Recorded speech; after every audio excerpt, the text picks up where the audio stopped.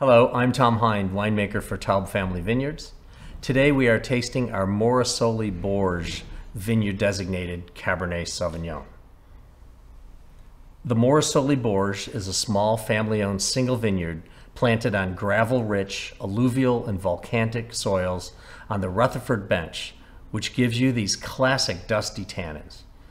The vines average 20 years old, which gives this wine concentrated fruit.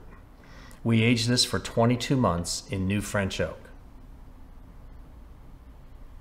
On the nose, you get pure black cherry, plum, and black currant, with subtle sweet notes of vanilla, creme de cassis, licorice, and cocoa powder.